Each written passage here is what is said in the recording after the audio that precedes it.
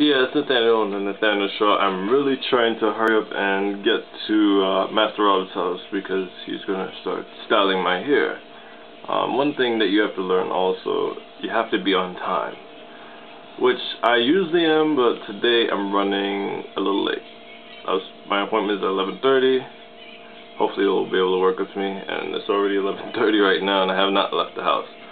But um, I'll see you in a bit.